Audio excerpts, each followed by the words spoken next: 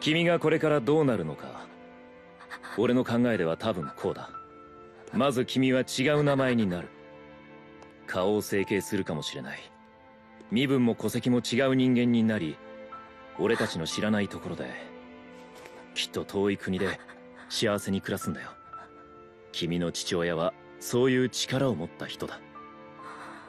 さあ手を貸そう。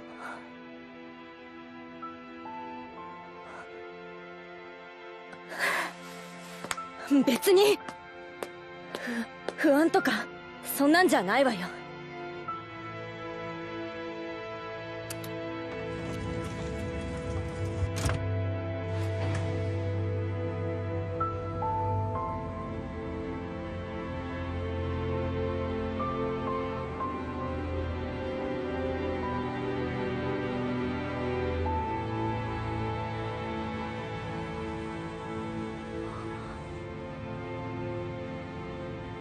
私父親のこと好きになれるのかしら？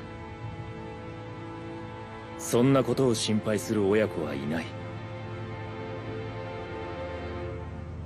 そうよね。その通りだわ。そんなこと心配するなんて。おかしいわよね。着くぞ。登場だ